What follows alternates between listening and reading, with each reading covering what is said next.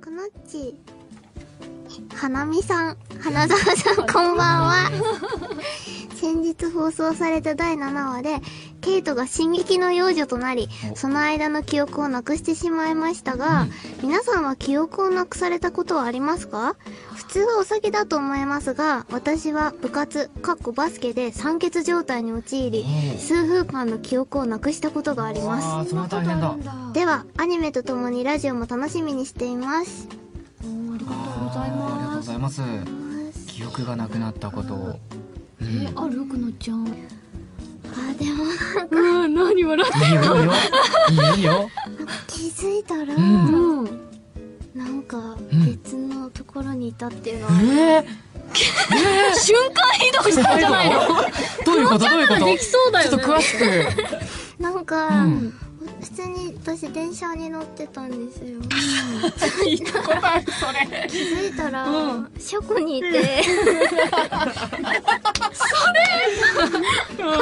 え誰も降ろしてくんなかったの？花江さんに話したんですけど、うん。なんか、気づいたら車庫にいたんです。面白すぎるでしょ。びっくりしちゃって、あそうだね。びっくりだね。はい。えそれでどうしたの？あ、ちゃんとその、電、電車のその先頭のとこに走っていって、うんうんどんなんで叩いたら、あの、駅員さんいたので、よかったよ、それ。いなかったらもう。そのまま線路の上歩いて、そう戻ってきました。あら貴重な体験をしたねね。その時の間のこと覚えてなくてう。ん、寝てたっていうことなのかな？寝てはないの？すんごいぼーっとしてたんじゃない？でも、くのちゃん結構現場でも寝てることが。な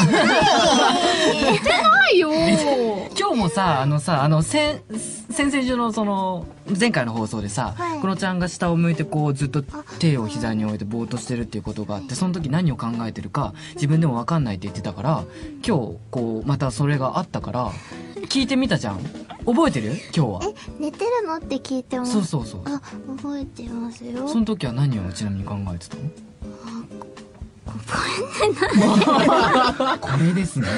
多分これが、これもう頻繁にあるやつお二人、お二人はあります。あれ？俺なんかすすええ変わってるけど私ない記憶あないんですかうん全部見見る全部見 る。全部全見る。部全部見てこう、うん、ああ。え花江くんは？僕はもう酒ですね。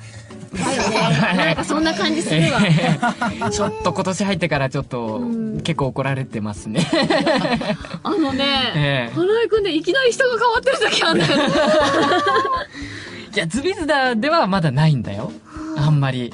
でもちょっと他の現場でなんか。でもなんか楽しくはい読む方だからいいと思楽しくなっちゃってうけどね、ええうん、でもまあちょっと控えようかなっていう時も。